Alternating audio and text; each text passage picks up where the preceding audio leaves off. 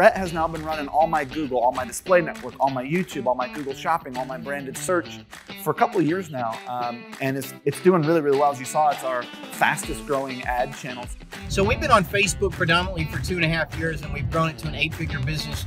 But we started to see the ROAS really start to slip with the algorithm changes, and I reached out to, to Brett, uh, and he basically took over YouTube, and it has been a game changer for us. Brett's amazing. He meets with us regularly. Um, it's really going to basically, hopefully, triple our business this year again. So I thought about taking it in house. We have, you know, a marketing team here.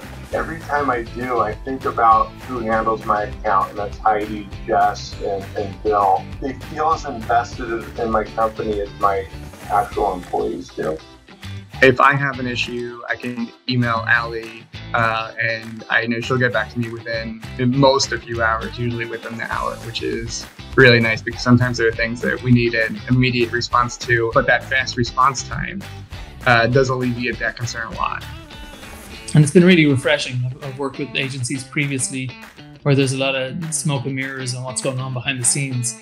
But with OMG, you know, everything's laid out on the table for you. You are taking our YouTube and putting it on steroids, for lack of a better term, and it is doing incredible. I think that in the digital marketing world, there's a lot of smoke and mirrors, a lot of promising results.